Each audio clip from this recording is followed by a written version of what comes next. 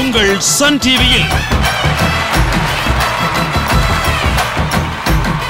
ஒரு ஆண் வேலைக்கு சீக்கிரம் போகணும்னு வைங்களேன் அலாரம் வைப்பார். ஆனால் பெண் ஒரு நாளும் அலாரம் வைப்பதே இல்லை.